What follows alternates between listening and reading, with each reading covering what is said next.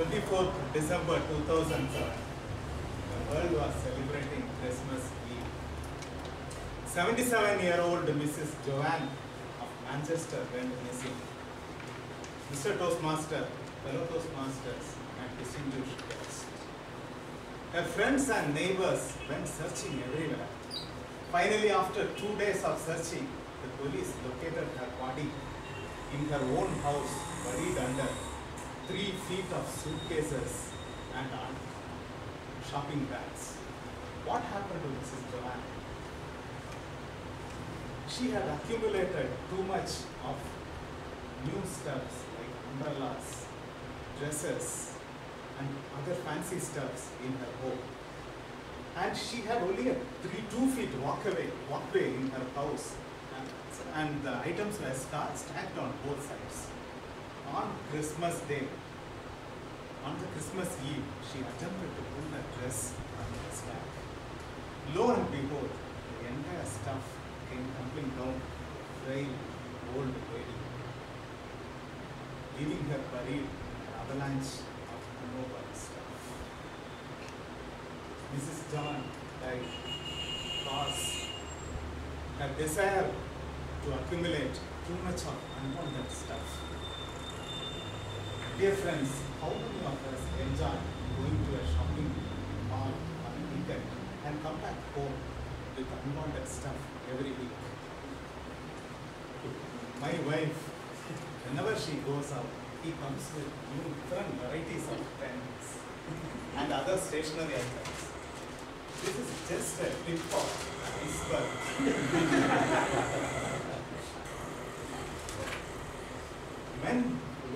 enjoy shopping much more than men. Do you believe that? Yes, yes. But in reality, it's only a men. we meant to shop. Just to have a feeling of power and confidence.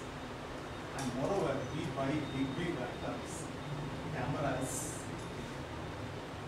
uh, mobile phones, music systems, and many other items. Whereas women buy small, small items like dresses, cosmetics, things for family. Look at my case. Last weekend, I wanted to buy a, pick up a toothpaste from Steam. I really wanted to buy this, that's all.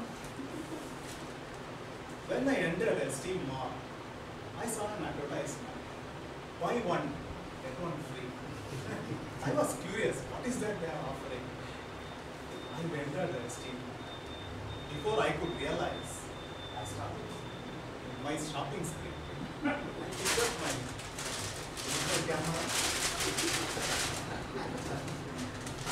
an MP3 player, a cell phone, and they gave one more free, another cell phone, three specs. This one for reading, this one for looking at a distance, and this one to look at this too.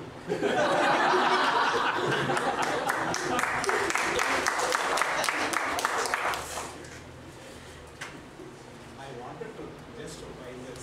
Ended up buying all this. And after I came home, I realized I And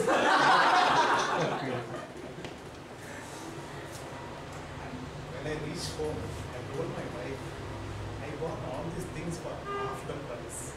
I was so happy I convinced my wife. But she knew that. Doesn't it sound familiar, Mr. Bhaskar? For 10% of the people worldwide, this hobby shopping is a very painful experience. They suffer from shopaholism. Shopaholism is a habit which drags you to spend beyond your need. Why, why do we become shopaholics? Whenever we feel lonely, or whenever we feel lacking love or worthless, we go out and buy things. Buying things make us feel worthy and and make us feel powerful to the world. That make us feel that we can show powerful to the world. The moment we buy, here the shopping gives you a high. You do it again and again. The higher the amount you spend, you feel more happy. It floods your brain with feel good chemicals. Very often what happens is immediately after you buy, you realize that it is a very bad idea. You get scared of the consequences. You feel even more bad. You realize there's only one way out.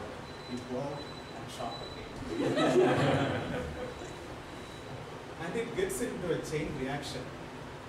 And in extreme case of shopaholism, people take off from leave office and go for shopping.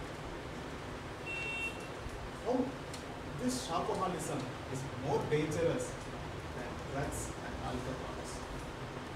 It can lead you to debt and finally end up in make you end up in jail. How do you know whether you are shopaholic? Check yourself. Do you enjoy shopping? Check your budgeting habits. Are you spending beyond your limits? Check with your friends and relatives. Do they feel you are spending beyond their limits? If yes is the answer for any of these questions, you are definitely a shopaholic. How do you get out of this shopaholism? Always have a list of what you want to buy. Review the list again and have it reviewed by one of your friends or relatives. Always use cash, never use your credit card. Destroy all your credit card except an emergency one. Look yourself, look to yourself and analyze and see what pain in your life you are trying to address with shopping. Take professional help, go to a counselor. He will address this, the pain in your life. Dear friends, every penny you save helps your family. Every penny you donate, give life to somebody else. Every penny you spend in this hobby shopping will destroy your life. Take a pledge not to indulge in this hobby shopping. Don't become a shopper. Be wise, otherwise